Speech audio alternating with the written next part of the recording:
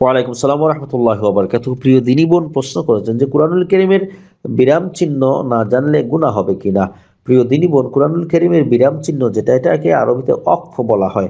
তো অফকর বিষয়টা হলো এমন যে কখনো এমন কিছু আয়াত আছে যে ওখানের মধ্যে আপনাকে অফক করতে হবে, কারণ পরবর্তীর সাথে যদি মিলে যায় তাহলে অর্থের মধ্যে পরিবর্তন আসতে পারে। যার কারণে এটাকে আপনাকে অফক করা জরুরি বা অফক বিষয়ে জানা জরুরি ওই ক্ষেত্রে। অতএব কিছু জায়গায় আছে আপনি থামতে পারবেন না, কিছু জায়গায় আছে আপনার ইচ্ছাধীন থামতেও পারেন, নাও থামতে পারেন, আবার কিছু জায়গায় আছে আপনাকে থামতেই হবে, আবার কিছু জায়গায় আছে তার আওয়াজটা অন্যরকম পরিবর্তন হয়ে যাবে।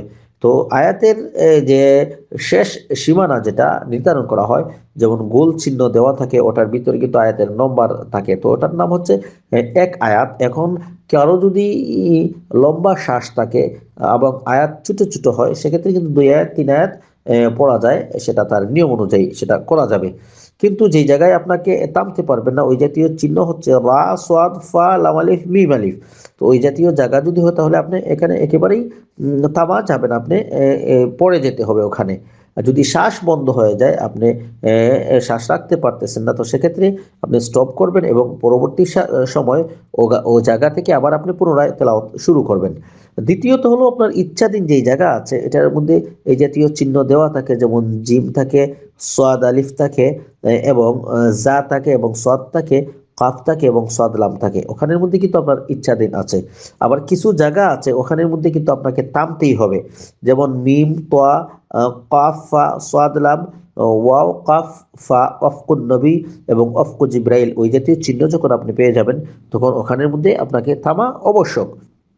আবার কিছু জায়গা আছে যেখানের মধ্যে আওয়াজটাকে আপনি ভিন্ন করে পড়তে হবে। যেমন আপনার আওয়াজ বন্ধ করে নেবেন এবং শ্বাস জারি রাখবেন। ওটাকে কিন্তু আরবিতে সাক্তা বলা হয়।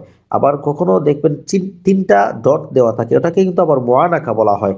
তো মোয়ানাকা পড়ার নিয়ম হলো যে আপনি পরের ওই প্রথম তিন ডট চিহ্ন যদি থামেন না, দ্বিতীয় ডট চিহ্নের মধ্যে থামতে হবে। অথবা প্রথম তিনটা ডট চিহ্নের মধ্যে আপনি থামলেন, দ্বিতীয় তিনটা ডট চিহ্ন আপনাকে ওখানে থামা যাবে না। তো ওগুলি আপনাকে লক্ষ্য করে পড়তে হবে। তখনই আপনি বিরাম চিহ্নর যে বিষয়গুলি আছে, এগুলি আপনি বুঝতে পারবেন। এগুলি সঠিকভাবে আপনার তেলাওয়াত হবে। জাজাকিল্লাহ।